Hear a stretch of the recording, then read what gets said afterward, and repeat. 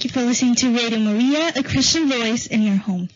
We are now continuing with Jesus, the Promised Messiah of Judaism, with Roy Schoeman. Hi, this is Roy Schoeman, and welcome again to Jesus, the Promised Messiah of Judaism, the show on Radio Maria that celebrates the Jewish roots of the Catholic Church, or seen the other way around, that celebrates the fulfillment, the full realization of all of the promise of Judaism in the Catholic Church and her sacraments. Well, I'm a, a, little bit in advance of time in today's show, but I decided to do today's show on a favorite saint of mine, Saint Bruno, and on his spirituality. Now, what's the connection between uh, his spirituality and the order that he founded, which is the Carthusians, and Judaism? Well, it's a little bit of a stretch, but there's only a little, a rather tenuous connection, um, which is that his spirituality is really the continuation of the spirituality of the Desert Fathers, which is very, very deeply rooted in Judaism. The prayer life of the Carthusians, which is the order that he founded, is entirely uh, rooted. I don't want to say it's entirely rooted in the Old Testament. That's not fair, but it, because it's also in the New Testament, but it's heavily rooted in the Old Testament. And my conversion to Catholicism, or rather my embrace of Catholicism, took place when I was exploring a Carthusian vocation. That's a rather personal connection. And finally, there is only one Carthusian monastery in the United States, which is in Vermont.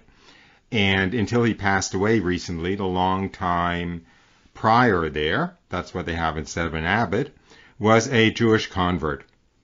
So that's a little bit, as I said, a little bit of a tenuous connection, but it gives me an excuse for talking about St. Bruno and the Carthusian spirituality. And um, also, as I said, I'm a little bit in advance because St. Bruno's feast day is coming up. It's October 6th. And so I, I want to do this to honor him. So I will give a very short biography of St. Bruno and, and story of the founding of the Carthusian order, and then I'll go on to the spirituality. Now, one of the reasons for paying attention to the Carthusian order is because it is the strictest, most strictly contemplative um, monastic order in the Catholic Church. It is the Marines, if you will, of the contemplative order, or maybe um, the uh, um, the Green Berets is probably a, a, kind of a more accurate analogy, but it's really the hardest core of the hardcore contemplative orders in the Catholic Church. And um, its spirituality reflects um, the, ver- uh, the, the root, I'll say, of contemplative spirituality uh, in the Catholic Church. So, with that, um, I'll talk more about that when I get to the um, a little later in the show when I talk about the spirituality itself, and also be doing some reading from Saint Bruno and from another um, uh, another leader of the Carthusians um, a, a, few decades after him, named Saint Guigues, um, which will really give a flavor of the spirituality. But just just to start at the beginning, uh, first of all, Saint Bruno lived from about uh, 1030 to about 1095 or 1100. I think it's actually 1101. So he lived um, in the 11th century. Uh, he was born in Cologne in 1030, and he was born to a wealthy family, a somewhat aristocratic family, and he went to study at the cathedral school in Rheims, in France, which is kind of like the heart, in those days certainly, the heart of the Catholic Church in what is now France. It's a little bit of a digression, but the town of Rheims is actually the place where the very first French king, uh, Clovis, converted to the Catholic Church. And in fact, he was baptized and entered the Catholic Church in Rheims, and that began the Catholic life of France, so to speak. That's what turned France Catholic. So so you can see Bruno is, is kind of growing out of the very roots of the Catholic Church in France. Anyway, he went to the cathedral school there. He must have been a very extraordinary student. he did very well. Um, he uh, quickly became a priest, um, probably in his very early 20s, actually, probably at the age of 20. Uh, he became a canon of the cathedral, and already at the age of 29, he became the head of the cathedral school, which was probably the most important uh, Catholic um, seminary, you could say, in, in France at the time at the age of 29. So you can see he was really a superstar. And for the next 20 years, he headed that school. And because it was kind of the most important seminary, let's say, Catholic institution in France at the time, many of the students who went through there became very, very notable. And it included a number of um, young men who became bishops, and it also included a young man who actually became a pope. He became Pope Urban II somewhat later, and that's going to figure quite largely in St. Bruno's life story. So anyway, when the then current Archbishop of um, Rheims died in, I believe, 1080, that would have been when Bruno was 49 or 50, uh, there was a universal call to make Bruno the next Archbishop of Rheims. Um, he refused. He refused. He didn't want to make, be made the Archbishop. And in order to escape this terrible fate of being made the archbishop, he uh, headed out with a few companions. He left Rheims with six companions to begin a solitary life as a hermit. Obviously, a semi solitary life since he was with six companions, but to begin a very, uh, a very hermit like uh, religious life in the middle of the wilderness. So they left Rheims, and after a little bit of adventure, they were given a wilderness in the foothills of the Alps, outside of what's now Grenoble, in fact, in the mountains that are the the uh, beginnings of the Alps, let's say. A very, very rugged wilderness area. They were up at about um, about 4,000 feet high in a little cleft in the mountains. Very difficult to get to um, only one way in through this little valley and you know winding your way up into the mountains because they were looking for solitude and a very uh, um, rough, rigorous environment because in fact it was under snow seven months of the year and it was um, so much in the kind of rocky forested mountains that there actually wasn't even any cleared land uh, you know, any fields, any flat land to really grow food. So it was a very, very rough existence. But um, he was kind of perfect for his hermetic life, for his life as a, a little community of hermits. And they very much follow the life, uh, kind of like the Desert Fathers in the early centuries of the church. Um, the they developed a set uh, this essentially a rule, although they call it customs. They developed a way of life which they still live with very, very minor modification, which is extremely rigorous and abstemious. And I'll give you a few examples. Um, they only eat once a day uh, in the middle of the day. The, they live in a, solitary confinement, each monk in his own cell. In the early days, of course, they were hermitages. Now they are cells that are maybe strung together in a larger building, but in any case, they're all completely isolated cells. They have a little, a very small little garden area. They have a workroom. They have a little living quarters, and that's it. And it's like solitary confinement. And the monks do everything in their cell. They they pray and they do their um, they do their offices and they do whatever work tasks they have. You know, if it's you know, uh, you know, carpentry, or in the early days it was copying manuscripts and so forth in their cell, and they only leave their cells to go to the chapel for uh, twice a day for religious uh, uh, for liturgies. They leave their cell in the middle of the night. They never sleep more than three and a half hours at a, at a stretch because they go to bed about 8 o'clock in the evening. They get up every night of their lives at around 11:30 for about three and a half hours of prayer. which includes about two hours of prayer, chanting matins together in the chapel. And then they go back into their cells and go to sleep around 3 a.m. And they get up again at around 7:30 a.m. for their morning office and mass in the church. And other than that, they're in solitary confinement.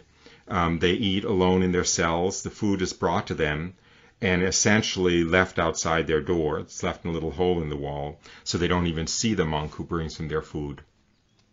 And they don't speak, except they have a short uh, recreation period every week where um, they they take basically they they take a walk outside together uh, two by two, so they have a little bit of um, communication with one other monk at the time during that walk, and they have like occasional chapter meetings, and um, I think they take one meal one meal on Sunday, or rather the Sunday meal they take together in the refectory, but that's their only kind of recreation. Um, they uh, never eat meat their whole lives. Uh, it's, it's in that sense it's abstinence. And during um, Advent and Lent, they also give up uh, milk and egg. Excuse me, I don't know about eggs, but milk and cheese and butter. Um, and it's a very, uh, you know, very uh, penitential life. They also, this isn't a popular thing to talk about nowadays, but they take the discipline, which is essentially uh, flagellating themselves, and they also um, fast once a week on bread and water if their constitutions are able to support that and so forth. So it is a very dry, rigorous penitential life, and it is, as I said, the strictest and most austere monastic order um, in the Western Church. So that's a little bit of a kind of background introduction. So anyway, Saint Bruno and his companions started this uh, monastery, and but then to Saint Bruno's chagrin, his former student became the Pope, Pope Urban II, and immediately called on Bruno to essentially come to Rome and serve as a counselor, um, as an advisor to the Pope. Well, Bruno didn't really want to do that. He didn't want to leave his hermitage, but of course, do, he saw his duty in um, obeying the Pope's request. So he went to Rome. He became a counselor of Urban II. Um, he managed to escape that. He had another threat of being made a um, a bishop, which he um, declined with horror, and he managed to escape to start another one of his uh, monasteries, a copy of the original Carthusian monastery in the south of Italy, um, not all that far from Rome, so that he could be called back to Rome to advise the Pope. And essentially, there he lived out his life. So that's a very, in a nutshell, a very compressed, short life of St. Bruno. By the way, I forgot to mention this. I'm also talking too awfully fast. But anyway, I forgot to mention that, of course, this is a live call-in program. And um, if there are any of you who wish to call in during the show with uh, questions or comments or whatever, um, by all means do so. And um, and I will interrupt myself in order to take your call. Um, and I will ask. Oh, let me see what's. Uh, mm, I hope I hope that I'm able to catch on my end the fact that you have called in. But if not, I will rely on this studio to to uh, break in to uh, let me know that that we have a caller on the line. So anyway, um,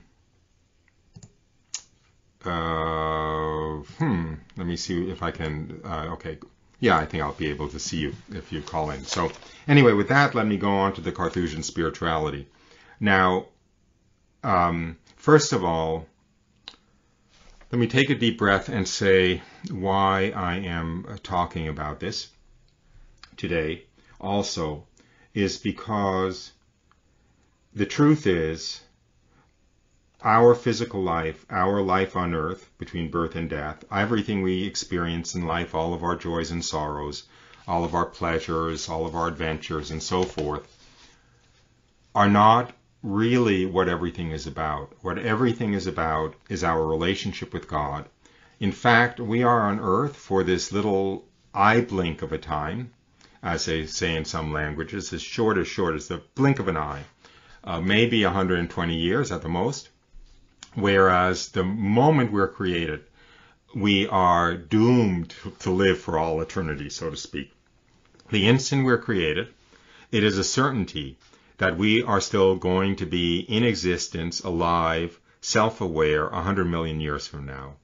So in that light, this blink of an eye on which we're on Earth, during which we're on Earth, this 120 years at the most, is really not very substantial in the context of 100 million years. Now, most of us live this life um, basically we want to make it to heaven. We want to please God. Um, you know, we want to be virtuous. We want to enjoy life, perhaps have a family, perhaps enjoy all the pleasures of life, perhaps do good for others, with the expectation and hope that when we die, we will enter into eternal life with God. There's nothing wrong with that. And that's what you and I are called to. But there are a few number of people who are called to something else, which is to devote their span of life on earth, let's say, to spend that as though they were already dead and in heaven in some sense. In other words, for we, we have in the period between birth and death, our life is mostly about our life on earth with an eye, you know, in, out of the corner of our, our eye looking towards our eternity in heaven. A few people are, have the calling to have their entire life on earth be strictly focused on God and on eternity. And in fact, to consciously ignore their life on earth, so to speak, in order to give themselves entirely, to have no distractions from their communion with God. And when they do this, if in fact it's their vocation, God reciprocates and he gives them a knowledge of himself, a communication with himself, and an intimacy with himself, which is not what's given to most of us. It's a, it's a, it's a form of union with God which is a foretaste of life in heaven. And they choose to seek this destiny, let's say, to seek this union with God on earth. They work very hard at it. It's very difficult to do. And uh, a precondition for doing it in general is to disconnect, so to speak, from most of what draws our attention in our life on earth. In other words, most of the pleasures, most of the distractions, and so forth, in order only to pay attention to God. For instance, not to love any of God's creatures, in favor of loving God alone, not to enjoy any of the um, pleasures of earth in order to uh, have one's heart fixed only on the pleasures of heaven and so forth. And this will be reflected in the spiritual writings, which I'm about to read. Um, this is again all by way of um, kind of uh, setting it up.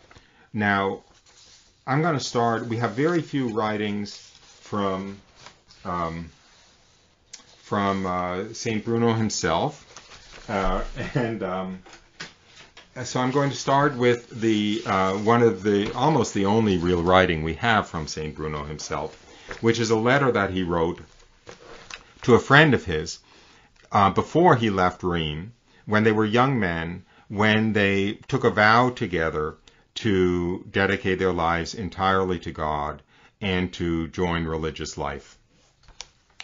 And um, so he's describing to his friend, his friend did not do it. His friend became a very high church official in Rheims, um, like a bishop. I don't think it was technically a bishop, but like a bishop, you know, with a very luxurious life, with a lot of status, with a lot of authority, and so forth and he didn't want to leave all of that to enter religious life and, and enter a kind of monastic form of religious life. Yet they had all t- they had taken a vow together. He had taken a vow with his friend Saint Bruno that that they were going to do that, and then this friend, whose name is Raoul, reneged on that vow and instead took this kind of worldly clerical path. So Let me read uh, Bruno's letter to Raoul. Uh, Bruno was in agony because he was afraid for the salvation of Raoul's soul since he had promised something to God and had not given it to him. So he's writing from his uh, monastery in the south of Italy. I am living in a wilderness in Calabria, Calabria, sufficiently distant from any center of human population. I am with my religious brethren, some of whom are very learned. They persevere in their holy life, waiting for the return of the Master, ready to open the door for him as soon as he knocks. How can I speak adequately about this solitude, its agreeable location, its healthful and temperate climate? How can I describe the appearance of the gently rolling hills all around, and the secret of the shaded valleys where so many rivers flow, the brooks and the springs? There are watered gardens and many fruit trees of various kinds. Let me interrupt myself to make a comment here. They persevere in their holy life, waiting for the return of the Master, ready to open the door for him as soon as he knocks. This is a integral part of this contemplative life because because part of the underlying strategy of this contemplative life is to always be entirely available to God because you don't know when he will grace you with his presence, so to speak. And I'm not talking about when you will die and enter his presence in that way.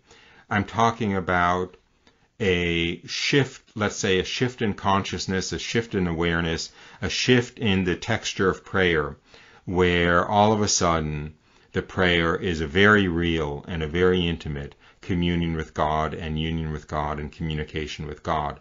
And these monks choose to live in such a way that God is free to basically open that door at any moment, to knock on that door and they can throw it open and enter into that extremely privileged intimacy with God.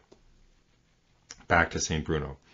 But why am I giving so much time to these pleasantries? For a wise man, there are other attractions which are still more pleasant and useful, being divine. Only those who have experienced the solitude and silence of the wilderness can know what benefit and divine joy they bring to those who love them. These there strong men can be recollected as often as they wish, abide within themselves, carefully cultivate the seeds of virtue, and be nourished happily by the fruits of paradise. There one can try to come to a clear vision of the divine spouse who has been wounded by love, to a pure vision that permits them to see God. There, for their labor in the context in the contest, God gives his athletes the reward they desire, a peace that the world does not know, and joy in the Holy Spirit.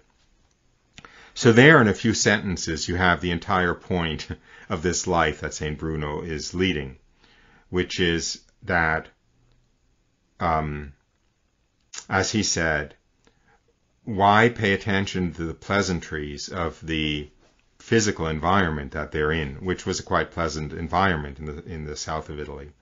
For there are other attractions which are still more pleasant and useful, being divine. In other words, divine attractions, divine pleasures, divine consolations are available to them. This is tasting the fruit fruits of heaven actually is what he's talking about is is actually being being having a window opened into heaven and being able to enjoy some of the bliss of heaven while still in this period between birth and death. That's what he's talking about. Um, only those who have experienced the solitude and silence of the wilderness can know what benefit and divine joy they bring to those who love them. A divine joy. The, a joy that flows directly from heaven into them, a wisdom that flows directly from heaven into them, a knowledge that flows directly from heaven into them. Really, participating in eternal life before they die is what it amounts to. Going back to the, I'm just repeating the last few sentences of St. Bruno to um, give a flavor of this. There, strong men can be recollected as often as they wish. That is that business of um, as uh, waiting for the return of the master, ready to open the door. They can be continually recollected. They can be continually in a state in which their mind and heart is focused on God. And ready for him to reveal himself. Carefully cultivate the seeds of virtue. That's another aspect of this contemplative life, which is um, they have the luxury, let us say, to be paying attention to their interior moral life to a much greater extent than most of us do, so that they can be very, very aware of um, all of their sins, actually, and grow in virtue with a greater degree of attention than than we do. They can become aware of smaller and smaller faults, faults such as um, perhaps having a little flash of resentment against a brother, or a flash of impatience, um, or or a uh, um, distraction, distraction when they're praying, whatever it is, since the entire content of their life is the pursuit of holiness and the pursuit of union with God. Um, they're obviously not, not worried about anything else. And so more of their attention and time and energy goes on, can go into their um, gr- basically growth in virtue, as he says, cultivating the seeds of virtue, so that they can be nourished by the fruits of paradise. That is tasting of the joys of heaven that I was talking about. There one can try to come to a clear vision of the divine spouse who has been wounded by love, to a pure vision that permits them to see God blessed are the pure of, uh, pure of heart, for they shall see God. Literally true. They are they are seeking a uh, mystical state of union with God. I know that's why I'm do, giving doing this show is because we you know this is not the fashion to think in this way nowadays. Um, but it is what the contemplative religious orders are or should be all about that and and of course there's something else very beautiful in this statement they can try to come to a clear vision of the divine spouse who has been wounded by love. Because this isn't selfish men seeking to enter into this relationship of love with Christ. It is unselfish men seeking to allow Christ's thirst to love and be loved to be satisfied in his relationship with them. Christ is on the other side of this um, opaque glass or whatever, dying for our love, wanting nothing but to pour out his love into us and for us to open our hearts entirely uh, and pour into him all of our love. And he is dependent on us uh, basically reaching a state in which he's able to do that with us and we're able to do that with him. So we're not pre- presumably these these monks are not doing this selfishly. They're doing it to as he said as he basically says here, satisfy the divine spouse wounded by love. So um, and come into a pure vision that permits them to see God. This this union of love with God that they're trying to achieve is not a one way selfish act. It is a two way union of love, and it is it is allowing God to love us as much as he wishes to love us. Anyway, the last sentence that I read, therefore, there for their labor in the context in the contest, God gives his athletes the reward they desire, a peace that the world does not know, and joy in the Holy Spirit. So this is not a dry, unhappy life. There are periods of dryness and unhappiness because that's part of the exercise that God puts the human soul through. But that is not the point of it in some sense, because in fact God does give his athletes the reward they desire, a peace that the world does not know, and joy in the Holy Spirit. That again, he, that in this union with God, the contemplative monk ideally does reach a state in which he is really drinking from the fountain of bliss of heaven, essentially. Um, uh, he goes on. Uh, I, I, I, don't want to go on at great length with St. Uh, Bruno because I want to go on to some other aspects of this spirituality. Um, but um, I will just mention, I'll, I'll skip to the part where he is counseling his friend not to forget the vow he made to God. Is there any greater sin, any worse folly and downfall of the spirit, anything more hurtful or unfortunate than to wish to be at war against the one whose power cannot be resisted and whose just vengeance cannot be evaded? Are we stronger than he? What is more perverse, more contrary to reason, to justice, and to nature itself, than to, prefer, than to prefer creature to creator, to pursue perishable goods instead of eternal ones, those of earth rather than those of heaven? So, it is important for you to consider your duty carefully. If the invitation from love does not suffice for you, if the glimpse of useful goods does not impel you, at least let necessity and the fear of punishment restrain you. You know the promise you made and to whom you made it. He is all powerful and terrible, that Lord to whom you consecrated yourself in a pleasing oblation. It is not permitted to lie to him, nor is it profitable, because he does not permit himself to be mocked with impunity. You will remember the day when we were together and we talked for some time about the false attractions and the perishable riches of this world and about the joys of eternal glory. With fervent love for God, we then promised, we vowed, we decided to soon leave the shadows of this world to go in search of the good that is everlasting and receive the monastic habit. What else is there for you to do, my dear friend, but to acquit yourself of this pledge as soon as possible? Otherwise you will have been guilty of a lie all this time, and you will incur the wrath of the all-powerful one, as well as the terrible sufferings to come. What sovereign would permit one of his subjects to deny him with impunity a service that had been promised, particularly a service he valued highly? Why is it hard for you to fulfill a vow? that will not cause you to lose or even diminish anything, but have, but, excuse me, will not cause you to lose or even diminish anything you have, but will rather bring you great profit from the one to whom you owe it. Do not allow yourself to be delayed by deceitful riches. They cannot relieve our poverty, nor by the dignity of the provost's office. It cannot be exercised without great peril to the soul. Um, let me um, skip to the end. Uh, if um, if you should leave this life, may God per, uh, preserve you before having fulfilled what you owe by your vow.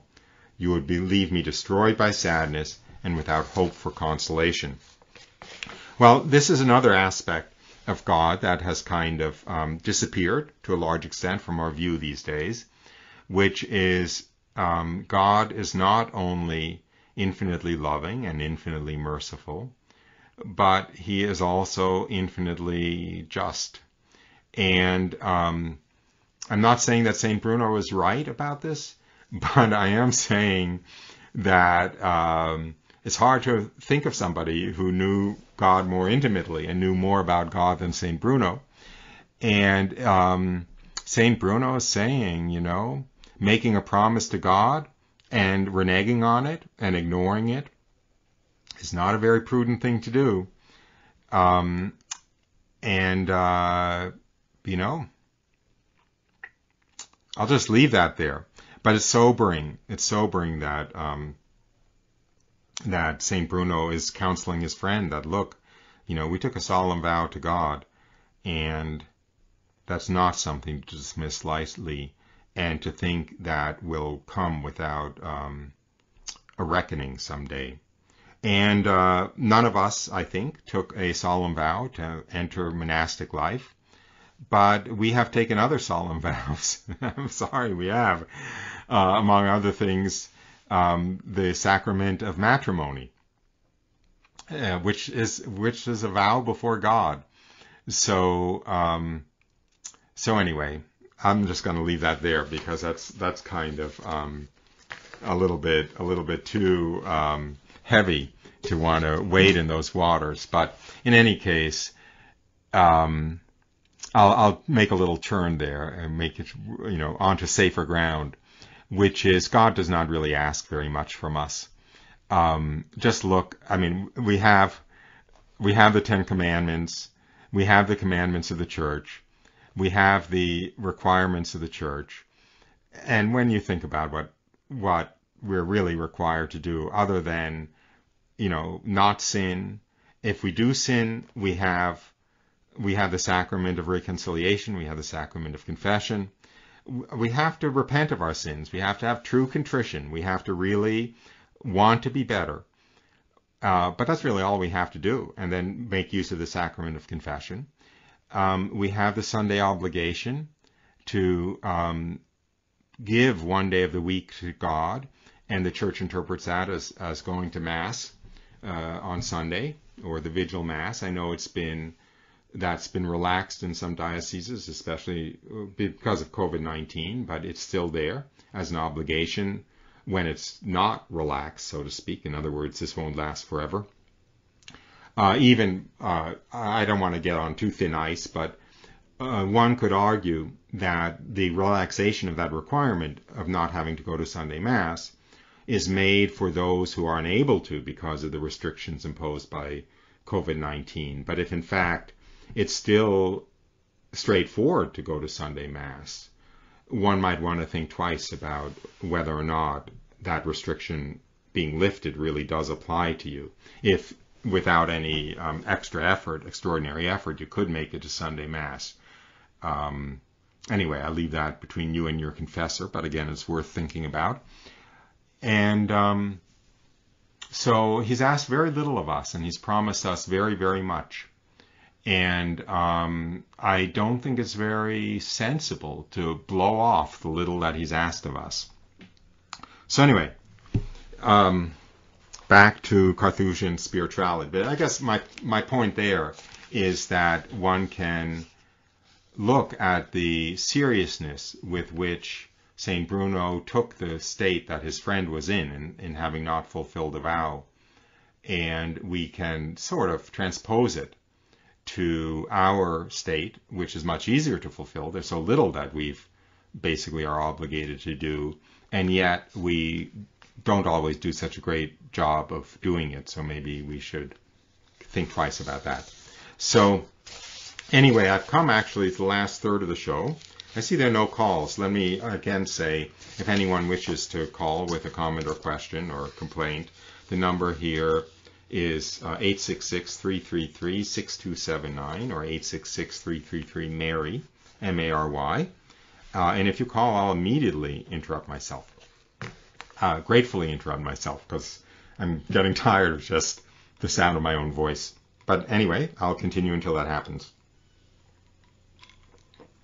So I will turn to a um, short writing by a Carthusian monk that reflects the, the fruits of the contemplative life that he participates in.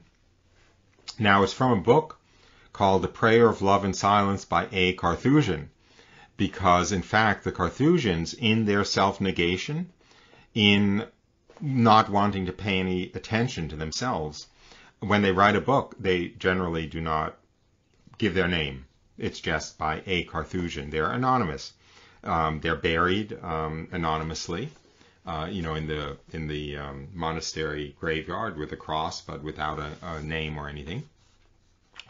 Um, they, in fact, they're buried without a coffin. They're just lowered on a plank into the ground.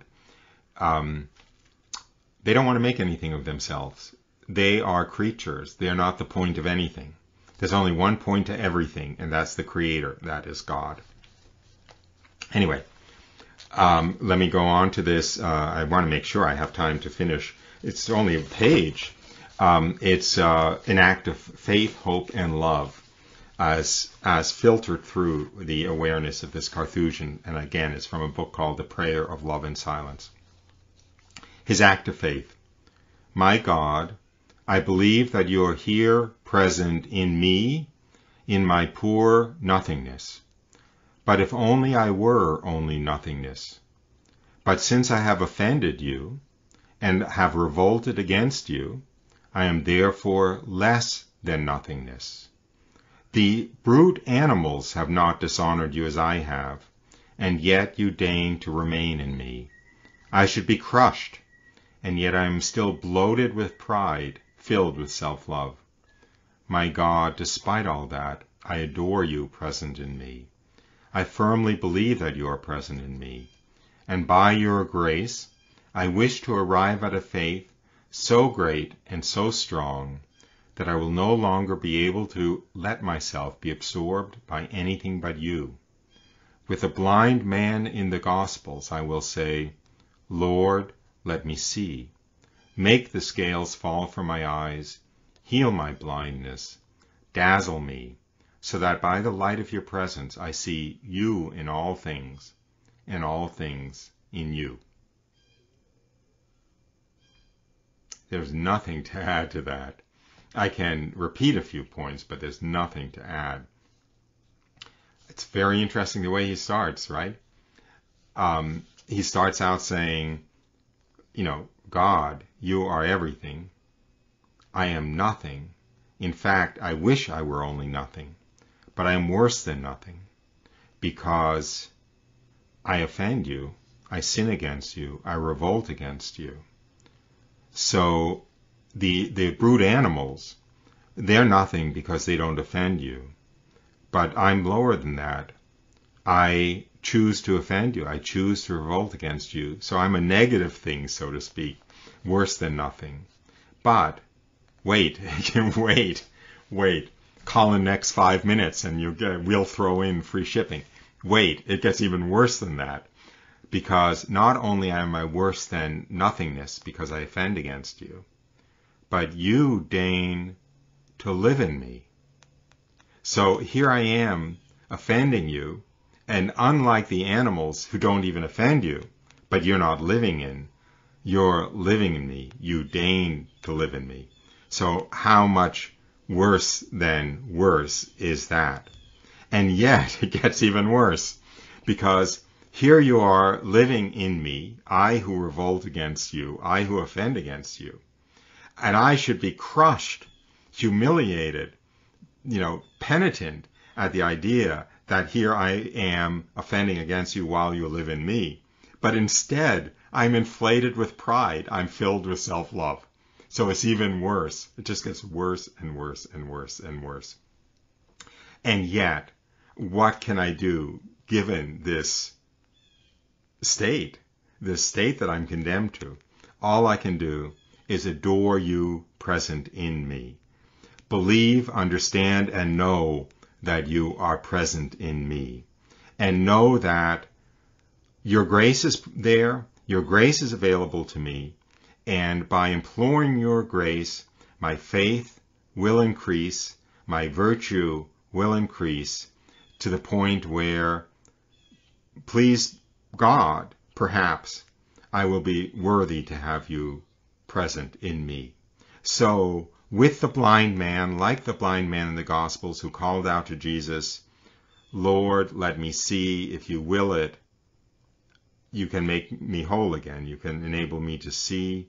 I repeat with him, Lord, make me see, make the scales fall from my eyes, heal my blindness, so that I see you in all things and all things in you. Isn't that a beautiful act of faith?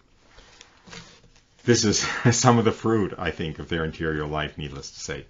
Anyway, I'd better go on to the act of hope and the act of love, or else, or else I'll shortchange this. Um, act, his act of hope. My God, I hope in you, in you, infinite goodness, who wish to make your abode in me. But how can I dare to hope in you, me, the most miserable of creatures, the most soiled and ungrateful? I should say like St. Peter, Depart from me, O Lord, for I am a sinful man. Yet know, my God, I know that you came on earth, and you said that you do not come for the just, but for sinners. That is precisely why I claim the title of sinner and it is because I am a sinner that I hope in you. And I do not hope at a, and I do not stop at a simple hope, but I have certainty that you are and that you will be and that you abide always with me and in me.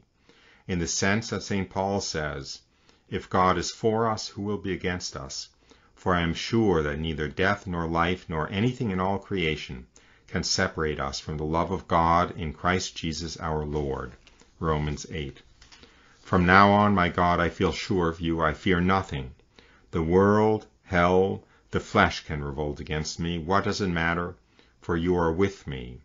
You are my Emmanuel, the God with us, my all, my God and my all.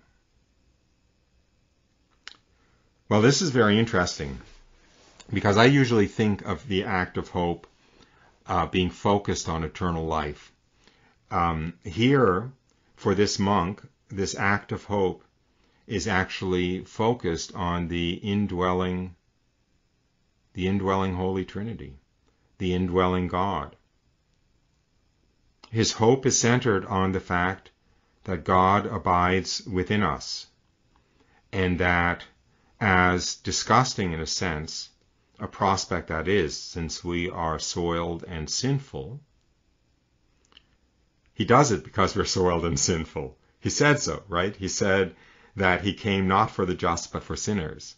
And so it's precisely because we're sinners that we can lay claim to his presence in us and that we can accept we can accept the incomprehensible condescension of the all pure, all immaculate, all holy, all powerful God, choosing to live within us, sinful, rebellious, sinful men and women, precisely because he came not for the just, for the sinners.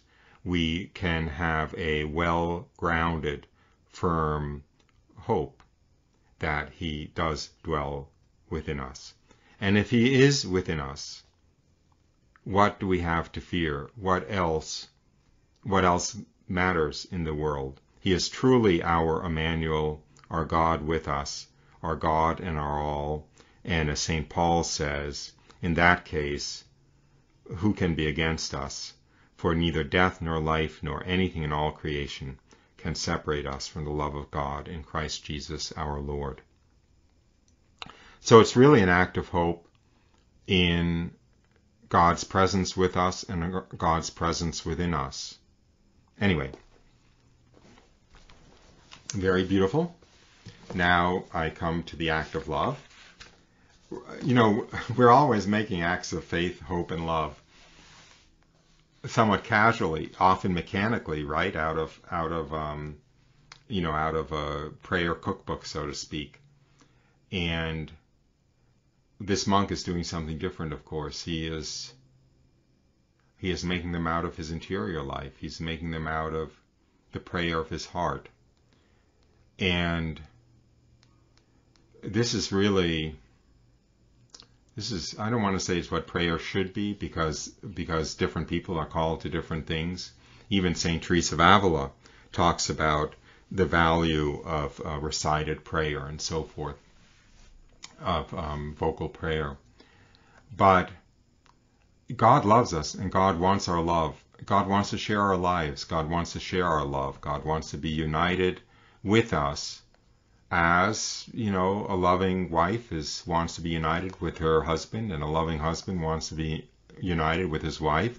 He wants to be united with us in a, a relationship of intimacy. And intimacy doesn't come from reciting words written in a book or even reciting the our father certainly not mechanically. Intimacy comes from sharing one's life and sharing one's feelings and and and expressing one's love and expressing one's feelings and so forth. And that's what God yearns for in his relationship with us, poor sinful human creatures.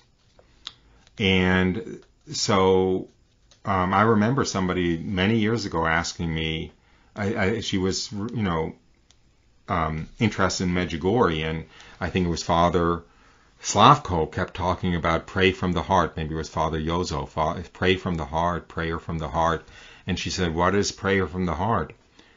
And prayer from the heart is nothing fancy. Prayer from the heart is uh, basically praying to God out of one's feelings and out of one's yearnings and out of one's frustrations and out of one's dissatisfactions and and out of the gulf between what no, one knows one should be versus what one knows one is. So what I'm reading here, this this uh, act of faith, hope, and love, they're acts of faith, hope, and love flowing from prayer from the heart, essentially, and written down. Anyway, let me get to the act of love before I reach the end of the hour. How can I say that I love you, my God, I who have so offended against you? If I think of my life as a line, it should be a straight line of pure love for you, my God, for you have created me to love you. But I see only a few separated points, few and far between, consecrated to your love. And more, the most generous acts and the purest feelings are three quarters consumed by vanity and self-seeking. What ingratitude towards you who have sought me with all of your love. But I surrender this very day, my God, and I must cry out in my turn, Lord, you have won. You died for love of me. At least I will live for love of you. And if I cannot say that I love you, I can at least say that I wish to love you, that I want to love you. So again, there's there's so much profound self-knowledge in these prayers. If I think of my life as a line, it should be a straight line of pure love for you, my God, for you have created me to love you. This is true, right?